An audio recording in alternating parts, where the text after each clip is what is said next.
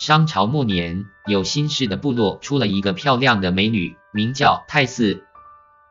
她的美貌就像天上的仙女一样美丽。有一日，周文王在渭水之滨巧遇太姒，当场被她的美貌所吸引，于是就派人四处打听她的事情。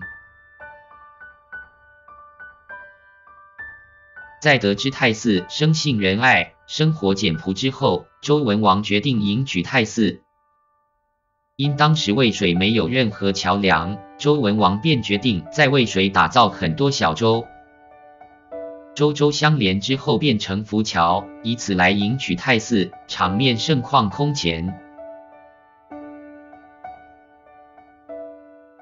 部落的人看到之后，都认为周文王和太姒是天造地设的一对，认为他们的结合是天意，便赞颂他们是天作之合。